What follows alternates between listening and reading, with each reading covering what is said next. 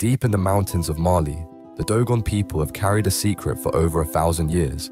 They knew intimate details about the Sirius star system, including an invisible companion star that Western astronomers didn't discover until 1970. Without telescopes, they mapped celestial movements with precision that still amazes scientists today. But here's what the elders really understood.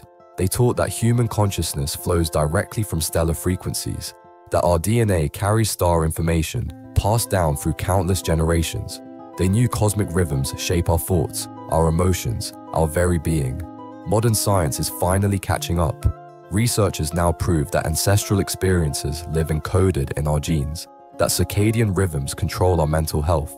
Quantum physicists discover consciousness itself may be non-local, connected across space and time.